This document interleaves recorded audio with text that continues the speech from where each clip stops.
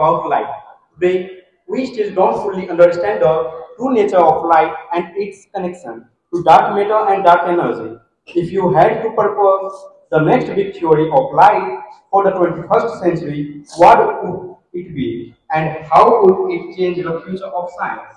Well, actually, for all our experiments so far, uh, the theories of de Broglie and Einstein are actually consistent with experiments. The problem is, while they're consistent experimentally, they don't seem to be consistent at all theoretically. It doesn't make sense that something can be both be a light and a particle, a wave and a particle at the same time.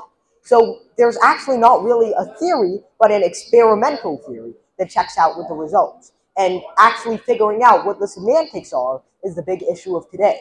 Figuring out how light can sometimes be a wave and particle, or if it's some other quantity entirely, is what most of physics is centered around today. So if I had to propose a new theory of light, it wouldn't be exactly new, but adding on to the already existing wave-particle duality question. Now, as for what I would come up with and its connection to dark matter and energy, I think that's a lot more difficult.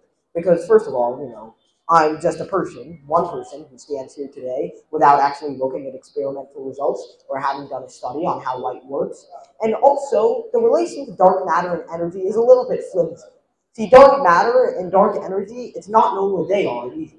Dark matter and dark energy are like placeholders or blank spaces. We, are, we know through the field equation, through our observations of blue shifting and red shifting, that the galaxies are moving away from us with a rate that would be consistent with this amount of mass. However, the problem is our observations directly show that there is a smaller amount of mass, which means that the remainder has to be made up by some sort of dark energy, which doesn't interact gravitationally, but still picks, is picked up by our, sorry, the other way around, which interacts gravitationally, but is not currently picked up by our observers. The same thing happens with energy.